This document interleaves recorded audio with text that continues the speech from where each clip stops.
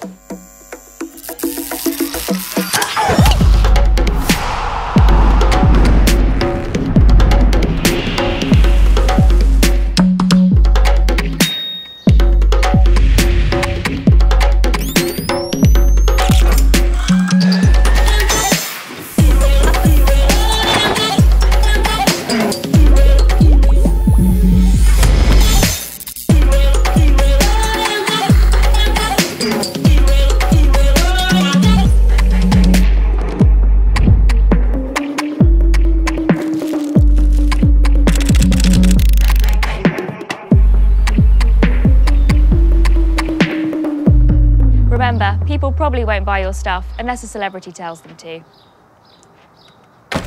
Now we're talking.